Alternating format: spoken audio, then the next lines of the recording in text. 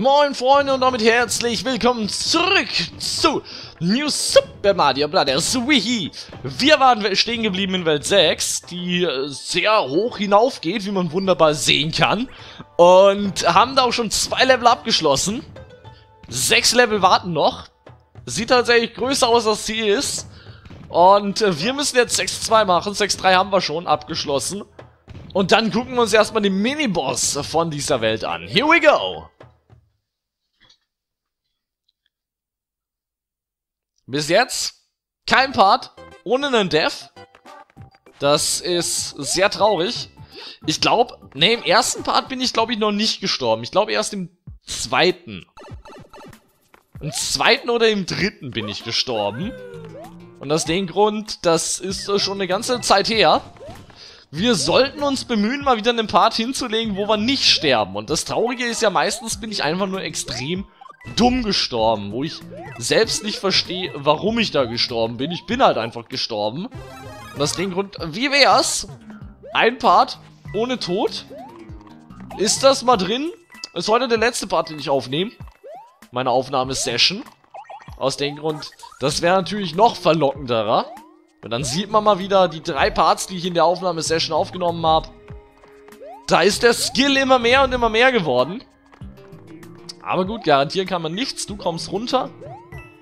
Meine Güte, nein! Komm. Nein! Verdammt! Der Wahnsinn. Ich würde gern hier einmal aufmachen. Jetzt die Frage. Ich will den Checkpoint eigentlich nicht einsammeln. Ja, genau. Ich wollte eigentlich nur, dass du dich auflöst. Dankeschön. Nein, nicht respawnen. Nicht, nicht respawnen, nicht respawnen. Töte mich nicht. Wir wollen den Part ohne Death. Heute ist der, heute ist der, der Deathlos-Tag. Ja. Ich weiß, der hört sich seltsam an, aber genau so wird der genannt. Lass mich in Ruhe. Ich habe euch nichts getan. Lasst mich in Ruhe. Hier ist ein One-Up. Für alle, die noch keine 99 Leben haben. Du kommst auch runter. Aber du triffst mich nicht. Die Gumbas Spielen wir ein bisschen vorsichtiger. Ah, jetzt hätte ich hier natürlich eine Eisblume gebraucht. Unglaublich, komm. Dann muss ich mich ja schon wieder umbringen. Außer ich, ich krieg jetzt eine. Ich glaube, hier ist sogar eine. Ne, hier ist ein Stern, glaube ich, weiter unten. Ja, nächste. Wunderbar. Hier ist ein Stern, ne? Denke ich. Genau. Warum auch immer hier ein Stern ist. Ich hätte nur gerne eine Eisblume. Mehr will ich nicht. Ja, eine ist entkommen, egal. Die drei würde ich noch gerne umbringen. Wunderbar. Weil dann beim Zurückgehen haben wir da weniger Hindernisse. Meine Güte, nein! Huh! Ich habe eine Eisblume. Das war riskanter als gewollt. Aber letzten Endes hat's ja... Oh. Oh. Habt ihr das gerade gesehen, was da verschwunden ist? Eine grüne Röhre. Das ist verlockend, aber ich würde doch zuerst lieben gerne Starcoin Nummer 2 holen. Da müssen wir ein bisschen aufpassen, dass wir uns da nicht sinnlos treffen lassen. Here we go. Wunderbar. Starcoin Nummer 2 gehört mir. Und jetzt auf zu Starcoin Nummer 3. Die haben wir ja gerade eben gesehen. Die dürfte sich hier in der Röhre befinden. Bis jetzt noch kein Tod, aber leider sind schon wieder fünf Minuten des Parts rum. Fiebert fleißig mit? Fiebert ihr fleißig mit, ob ich es schaffe oder nicht? Wäre interessant zu wissen. Aber genauso. Gerade. Oh, vielleicht, vielleicht wettet ihr. vielleicht guckt ihr gerade mit eurem besten Freund oder so. Ich denke zwar nicht, aber vielleicht wettet ihr, schafft er das jetzt hier oder nicht? Für was bist du? Ich bin für das und das. 10 Euro. Könnte ja sein. Wo bleibt die Röhre? Hier kommt sie. Das Warten immer, ne, an den Drehrädern, das verstehe ich nicht. Manchmal kommt es so kurz, also kommt die direkt und manchmal kommt die irgendwie nach einer Ewigkeit nicht. Aber gut. Ist in Ordnung. Scheiße. Egal. Wir brauchen sie nicht mehr, die Eisblume. Und damit heißt es nur noch ans Ziel. Komm, da, da kriege ich wohl hin. Das ist kein allzu großes Risiko. Here we go! Da oben ist ein Pau. Wisst ihr was? Ich, ich, ich bin weg. Tschüss! Tschüss, Hammerbruder. Nein, da ist noch ein Spiny. Du kriegst mich nicht, Kleiner. Du kriegst mich nicht. Hua! Heute nicht, mein Kleiner. Heute nicht. heute ist der Deathlos-Tag.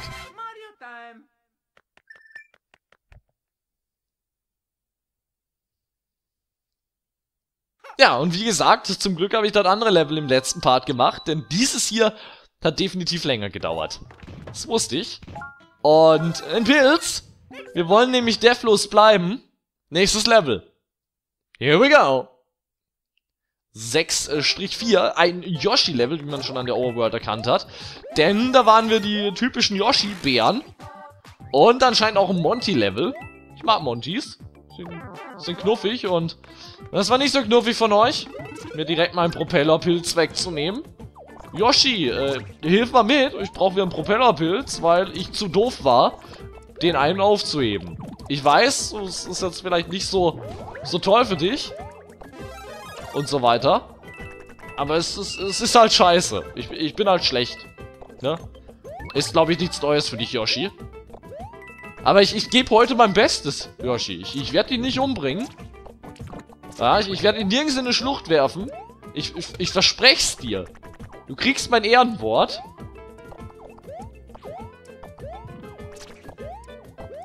Das... Das wird hoffentlich drin sein heute am Deathlos-Tag. Was ist das? Oh, okay, bildet einen Weg. Wahrscheinlich zu einer Starcoin. Das heißt, da bemühe ich mich ein bisschen. Leg los! Hier! Hier ist ein, ein One-Up nur. Was will ich mit einem One-Up? Hätte ich auch so bekommen durch die Bären, die ich eingesammelt habe, glaube ich. Keine Ahnung. Also, sinnlos. Was haben wir hier unten noch? Ich, ich will ja nichts verpassen. So, Monty Maulwürfe schmecken ja auch ein bisschen lecker. Das sind zwar roh, ungegrillt, aber... Yoshi ist alles. Er ist ein Allesfresser. Den hat er leider nicht bekommen. Der hat lieber Suizid begangen, aber...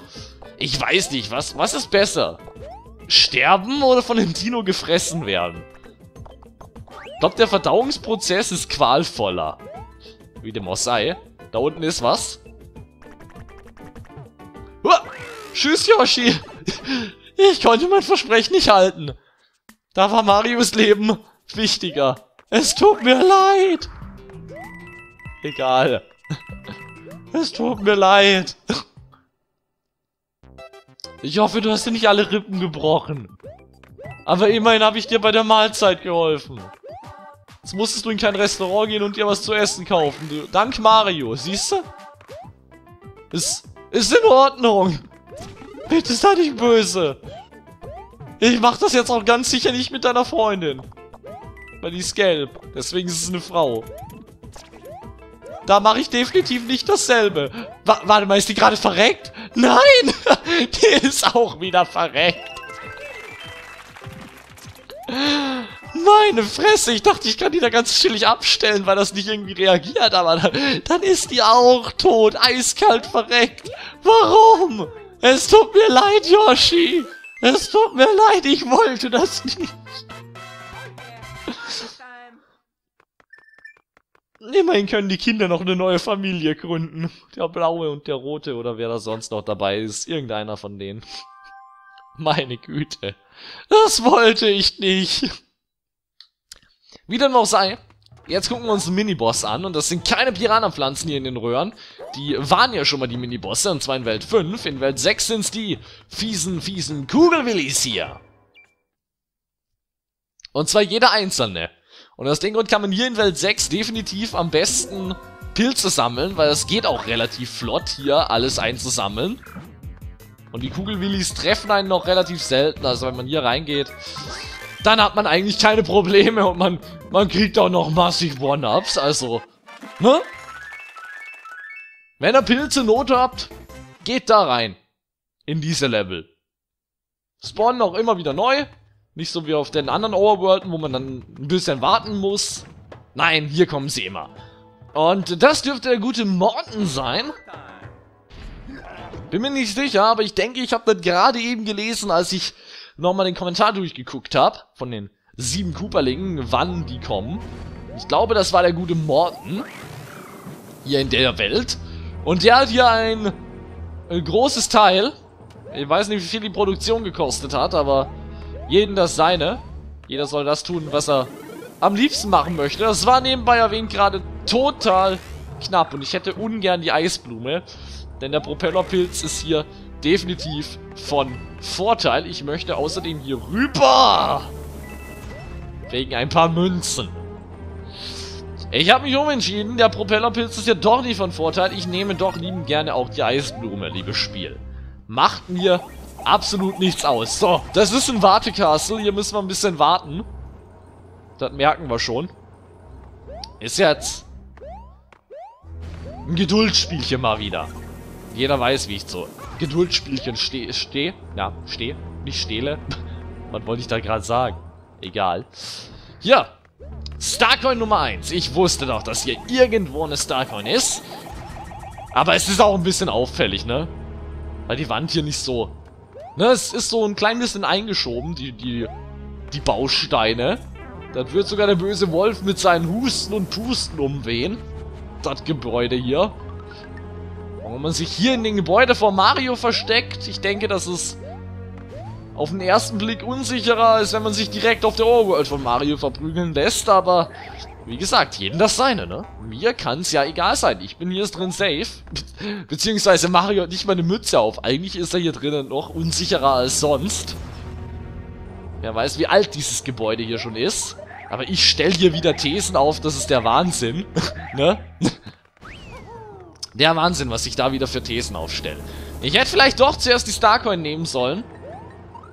Weil dann wäre die wenigstens abgesichert gewesen. Naja, jetzt ist es zu spät. Aber auch egal. Dann haben wir hier wieder endlich mal ein Power-Up. Wird aber auch langsam mal Zeit. Ja, jetzt kriege ich jetzt zwar nur wieder ein One-Up, aber wir können es ja mal versuchen, da zusammenzubekommen. Ich denke zwar nicht, dass es klappt. Okay, der hier ist ein bisschen größer. Ein bisschen länger. Das bedeutet, da geht es noch eine ganze Weile bergauf. Und ich denke, die hier, die schießen mich hoch. Da müssen wir aber ein bisschen das Timing abpassen.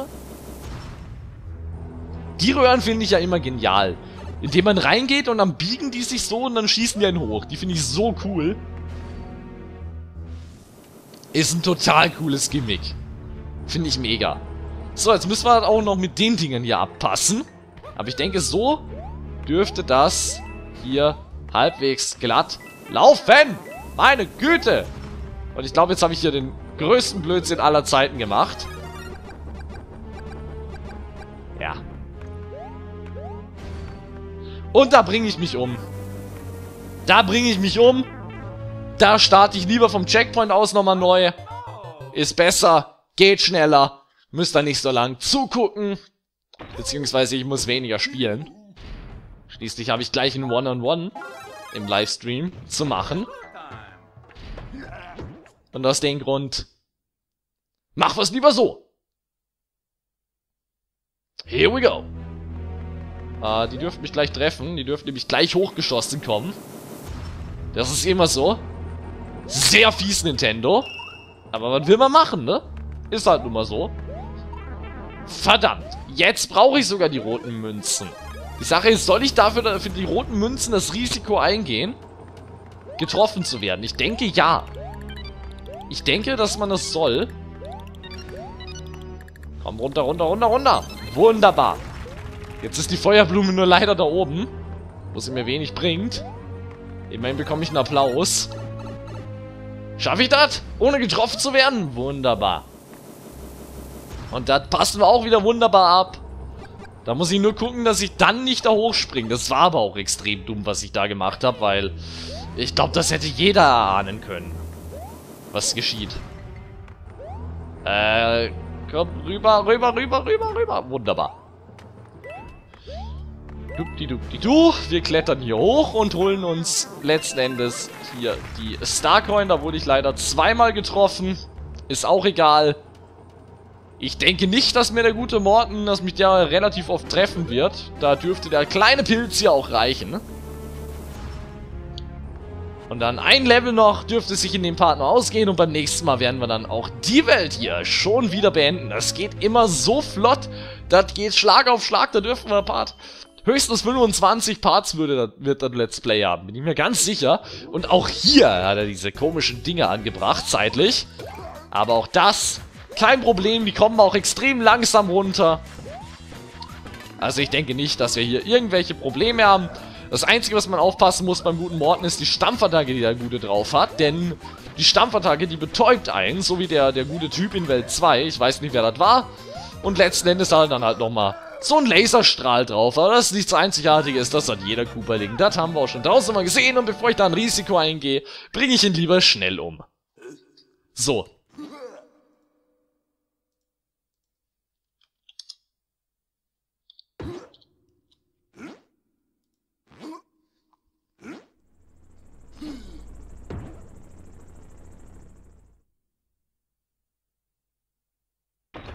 Wunderbar. Nächstes Level beendet. Und jetzt haben wir hier ein chilliges Strandlevel als nächstes vor uns. Mit Secret Exit. Meine Güte. Eigentlich will ich das ungern in den Part reinpacken. Aber gut. Anscheinend wird's halt leider reinkommen in den Part. Mit Secret Exit. Ja, kommt definitiv rein. Aber wir machen zuerst hier das Itemhaus. Und dann gucken wir beim nächsten Mal.